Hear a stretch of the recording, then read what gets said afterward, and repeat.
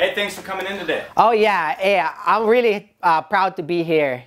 Okay, cool. Um, do you have a headshot or resume for I don't have a headshot, but I have an Instagram. I'm just gonna let you know we don't usually look up people's Instagram. Okay, well, I, I mean, if I get the part, then you know that's what's gonna happen, and then I'll you guys can take my picture. What role are you auditioning for today? Well, I see. Uh, I like to say I'm a big fan of the movies. One of my favorite is guy is uh, the Hulk. You get green nipples, and I think that's crazy, right?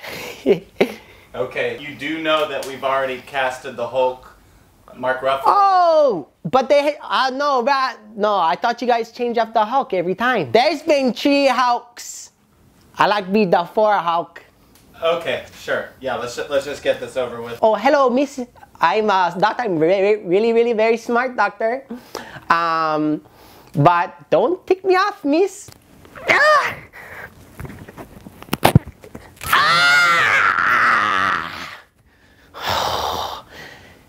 I told you, miss. You pissed me off. I think we're just gonna go with Mark Ruffalo again on this movie. Mark Ruffalo. Yeah. I'm the guy.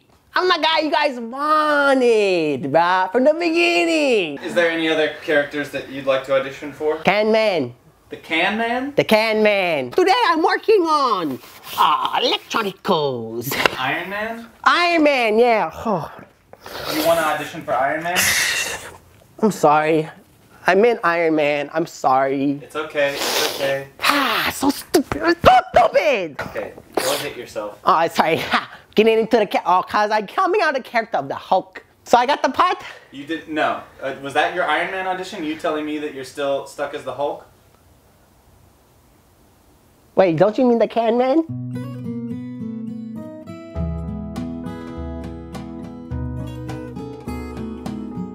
Loco Moco Katsu Chicken Plate Lunch